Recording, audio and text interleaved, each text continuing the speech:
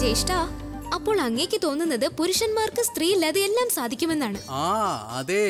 എല്ലാം സാധിക്കും ഇന്നത്തെ സദ്യ അങ്ങ് തയ്യാറാക്കും അതായത് പുരുഷന്മാർ